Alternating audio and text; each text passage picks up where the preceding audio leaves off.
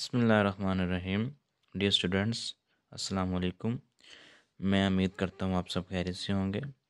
आज का जो हमारा नेक्स्ट लेक्चर है, वो प्रोनाउन के ऊपर है। कल हमने प्रोनाउन के ऊपर प्रीवियस लेक्चर में हमने प्रोनाउन के ऊपर पहला पार्ट उसका डिस्कस किया था। सिर्फ़ उसकी डिफ़ाइन और कुछ एग्जांपल समझी थी। नेक्स्ट हम आज पढ़ेंगे कंप्लीट प्रोनाउन क्या होता है। प्रोनाउन के कुछ इंपॉर्टेंट जो प्रोनाउन हैं, वो कौन कौन से हैं? जिसे हम ज़्यादातर पढ़ते हैं, वो कौन कौन से हैं? जिसमें आई शामिल है वी शामिल है यू शामिल है they he she it it some one who what few both सोन ये तो आप सब जानते होंगे इन चीज़ों को। ये तो आम रूटीन में यूज़ होने वाले वर्ड्स हैं सेंटेंसेस में यूज़ होने वाले वर्ड्स हैं इंग्लिश में यूज़ होने वाले वर्ड्स हैं, जिसे हम बार बार बार बार फ़िक्रों में यूज़ करते हैं। ये कुछ इंपॉर्टेंट बार बार यूज़ होने वाले प्रोनाउन थे।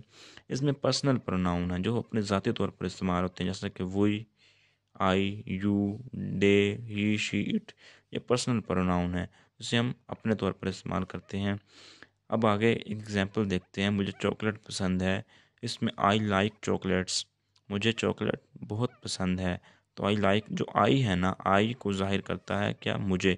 तो मुझे यानी कि ये एक सब्जेक्ट है सब्जेक्ट की जगह पर जो भी ए, जो भी चीज़ इस्तेमाल होती है जो भी प्रोनाउन इस्तेमाल होता है कोई भी लिखा जाता है तो वो प्रोनाउन कहलाता है।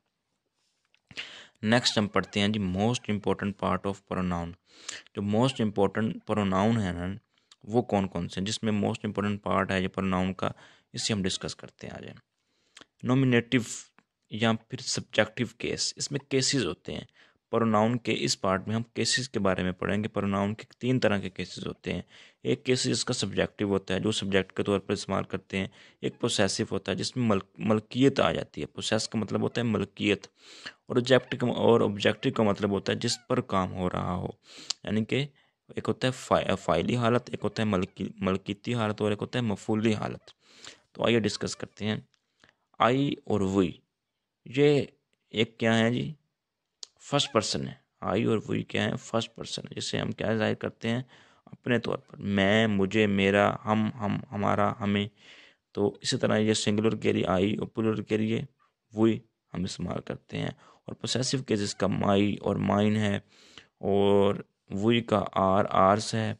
और ऑब्जेक्टिव केस जिसका मी आई का मी है। और वही का अस है। इस तरह यू का योर्स योर और यू ये सेकंड पर्सन है।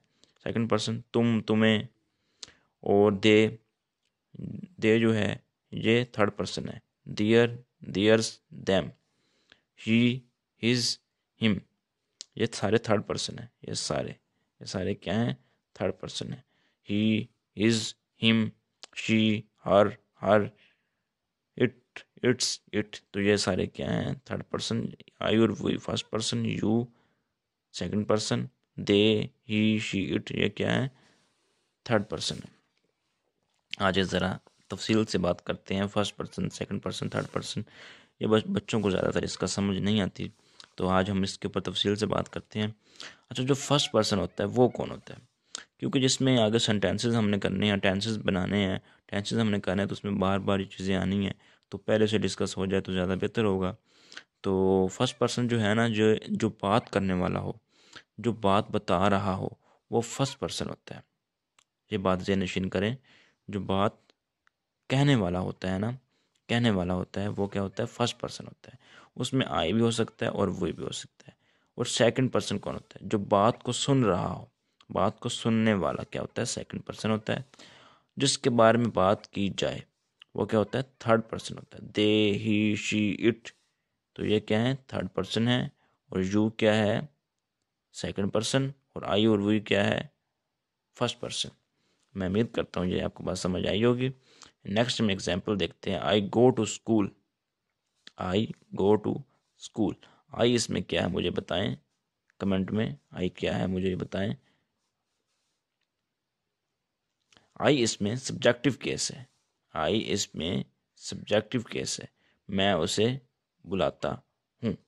तो उसे ये जो उससे है ना उससे ये कौन सा केस है? ऑब्जेक्टिव केस है। कौन सा केस है? मैं जो है ना, मैं, ये तो सब्जेक्टिव केस हो गया, ये तो पता चल गया। और उसे क्या हो गया? ऑब्जेक्टिव केस तो इसी तरह आई कॉल हिम वो उन्हें बुला, बुलाती है। ठीक है? तो शी कॉल्स देम वो उन्हें बुलाती है। आई कॉल हिम मैं उसे बुलाता हूँ। ठीक है? तो इसमें आपको समझ आ रहा होगा कि ये ये क्या है? इस वक्त ऑब्जेक्टिव केस ये सब्जेक्टिव केस और ये वर्ब है। तो इसी तरह बात समझ आई होगी। ऑब्जेक्टिव केस तुम मुझे पढ़ाते हो या आपने मुझे कमेंट में बताना है, तुम मुझे पढ़ाते हो, मैं सब्जेक्टिव केस कौन सा है ऑब्जेक्टिव केस कौन सा है, ये मुझे आप कमेंट में बताएँ। नेक्स्ट टाइम देखते हैं इसका आगे।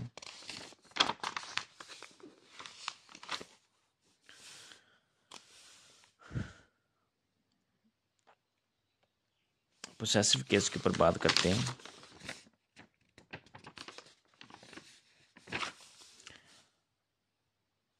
Owner position ships possessive case example possessive case की एग्जांपल लेते हैं अब। दिस इज़ माई पेन ये जो माई है ना माई ये ज़ाहिर करता है किसी भी चीज़ की मलकियत को। माई मेरी। किसी भी चीज़ की मलकियत जो होती है, उसे पोसेसिव केस में लेते हैं। तो this is my pen his girlfriend is so beautiful जो जो हिज है, ये जो माई है, उसके बाद you are my best friend my और आगे आ जाएँ। Their guest are so lovely तो दियर गेस्ट ये वाला जो दियर यूज़ हुआ है, ये क्या है? पोसेसिव केस है किसका? प्रोनाउन का। दिस बुक इज़ माइन अब ये जो लफ्ज़ इस्तेमाल हुआ है माइन ये कौन सा केस है? जब पोसेसिव केस आखिर पर हो तो दूसरे वाला इस्तेमाल करते हैं। क्या हो? दूसरे वाला। जैसा कि अब माई और, एक होता है माई और माइन मी भी होता है, वो आखिर वाला होता है ऑब्जेक्टिव केस बन वो ऑब्जेक्टिव केस बन जाता है। तो जब पता कैसे चलता है कि माई यूज़ करना है या फिर माइन यूज़ करना है, इसमें डिफरेंस करने के लिए बताया गया है, जब प्रोसेसिव केस आखिर पर हो, कौन सा केस प्रोसेसिव केस किसी फ़िक्र के आखिर में हो तो हम दूसरे वाला यूज़ करते हैं माई नहीं माइन यूज़ करते हैं। ये बात जेनशन करें। दिस इज़ माई बुक ये मेरी किताब है। ये तुम्हारी घड़ी है दिस इज़ योर वॉच इसमें योर वाली बात हुई। प्रैक्टिस उसने उन्हें बुलाया। ये तो वर्ब हो गया। उन्हें ऑब्जेक्टिव केस उसने सब्जेक्टिव केस तो आगे आ जाए। हमें हमारी कार चाहिए। हमें वही आर, हमारी आर। ये दिस दिल तुम्हारा है आर्स ओके समझ आ रही है इन चीज़ों की? ये प्रैक्टिस वर्क है। मे, ए, मेरा पबजी बैन हो गया। होगा हो गया। तो बैन इज़ पबजी माई यानी कि माई हम बात कर रहे हैं माई के ऊपर प्रोसेसिव केस के ऊपर सब्जेक्टिव केस के ऊपर और ऑब्जेक्टिव केस के। आयो इसके आगे हमें मज़ीद रूल्स पढ़ते हैं। Ali and me went to market. Ali and me went to market तो अक्सर हम यूज़ करते हैं अली और मुझे मार्केट गया। इस तरह नहीं होता। अली और मैं मार्केट गया होता है। ऐसा कि अगर सब्जेक्टिव केस यूज़ हो रहा है तो आगे भी सब्जेक्टिव केस यूज़ करेंगे। ठीक है? तो इसी तरह I and my wife are planning to go to uh go to abroad इसमें क्या यूज़ होगा? आई एंड माई नहीं। आई एंड माई वाइफ तो इसमें आई की जगह पे माई उसने यूज़ किया है माई यानी कि मैं और मेरी वाइफ ठीक है? तो आई इसकी जगह पे यूज़ हुआ? इसकी जगह पे. उसने अपनी वाइफ को ज़ाहिर मल, मलकी ज़ाहिर की किसकी? अपनी अपनी वाइफ की. The teacher told Ali and me to do our homework the teacher the teacher ने कहा कि अली से काम करो अपना होमवर्क जो भी है और मुझसे कहा। तो क्या हुआ? अली और मी मुझसे। बात समझ आ रही है? सब्जेक्ट की तरह हो तो सब्जेक्टिव केस ऑब्जेक्ट की तरह हो तो ऑब्जेक्टिव केस ये बात जहन नशीन कर रहे हैं, किसी भी फिक्रे में। अगर सब्जेक्ट की बात हो तो सब्जेक्टिव केस ऑब्जेक्ट की तरह का होगा तो ऑब्जेक्टिव केस लगेगा? She his has father he she's has faster has I तो क्या हुआ? ये देखो। सब्जेक्ट तो सब्जेक्ट कंपैरिजन में हमेशा सब्जेक्ट सब्जेक्ट सब्जेक्टिव कैसे आता है। नेक्स्ट हम पढ़ते हैं।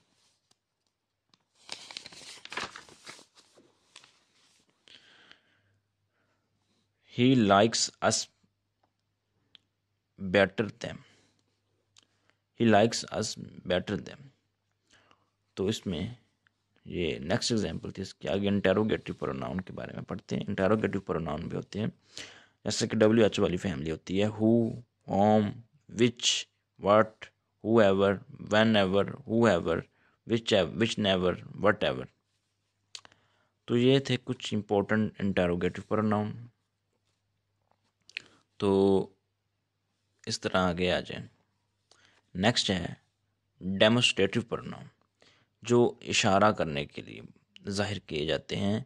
This that these those such for example these are ugly इसमें दीज क्या यूज़ हुआ डेमोस्ट्रेटिव प्रोनाउन है। दीज आर ब्यूटीफुल फ्लावर्स तो ये दीज जो है, ये, और दिस इज़ माई कैट और such was is such was is thinking तो ये क्या सच उसके बाद आगे आ जाते हैं रिफ्लेक्सिव प्रोनाउन रिफ्लेक्स का मतलब होता है अपनी तरफ़ इशारा करना, खुद को, खुद का अक्स होता है। Himself yourself themself yourself ourself तो ये क्या थे? योर सेल्फ जो होता है ना और देम सेल्फ और ये ग्रुपिंग के लिए इस्तेमाल होता है यानी कि सबको साथ लेकर चलना। सब की बात हो, जब इकट्ठी सारों की बात होती है तो उसमें हम क्या करते हैं? योर सेल्फ बात करते हैं। आगे आ जाए। रिलेटिव प्रोनाउन क्या होते हैं? Use to connect a clause और phrase who which whoever whenever whichever that तो इसमें क्या होता है? रिलेटिव प्रोनाउन में क्या होता है? दो क्लास को हम जोड़ने के लिए जो प्रोनाउन यूज़ करते हैं, जो वर्ड यूज़ करते हैं, वो रिलेटिव प्रोनाउन कहलाता है, यानी कि तल्लुक बनाने वाला। ओके अंडरस्टैंड आगे आ जाए। Indefinite pronoun indefinite pronoun indefinite का मतलब होता है, एक होता है डेफिनेट एक होता है इनडेफिनेट इनडेफिनेट का जो अनगिनत हो, ठीक है? ऐसे कि ऑल सबकी another any anyone anything each everybody everything few many nobody none several somebody तो ये क्या है? इनडेफिनेट प्रोनाउन जो लातदाद होते हैं, नहीं गिने जा सकते। तो कन्फर्म ना होना। यानी कि कन्फर्म ना हो किसी बात का सबको शामिल कर लेना उसमें। इंडेफिनेट में ये बात होती है कि कोई चीज़ यानी कि कन्फर्म नहीं होती कि जितने स्टूडेंट्स हैं या पचास हैं, तीस हैं, बीस हैं तो बस कन्फर्म नहीं होता। हम सबको शामिल कर लेते हैं। क्लास में जो भी मौजूद होता है, बस उसे शामिल करके तो काम कंप्लीट हो जाता है। तो ये था आज का हमारा लेक्चर मैं उम्मीद करता हूँ आपको ये लेक्चर समझ आया होगा और इसे भरपूर तरीके से तैयारी करेंगे इस लेक्चर के ऊपर। तो नेक्स्ट हम वर्ब के ऊपर बात करेंगे। ये हमारा प्रोनाउन आज मुकम्मल हो गया है। तो मैं उम्मीद करता हूँ आपको ये समझ आया होगा। इसके साथ साथ नोट्स बनाते रहें और मेहनत करते रहें। और इस तरह की मज़ीद वीडियोज़ के लिए इंग्लिश सीरीज़ के ऊपर मज़ीद वीडियोज़ आती रहेंगी और टेंसेस भी हमने करने हैं आगे। टेंसेस भी करेंगे डायरेक्ट इंटरेक्ट और एक्टिव पैसिव और इस तरह की मज़ीद वीडियोज़ के लिए मेरे साथ जुड़े रहिए। Thank you very much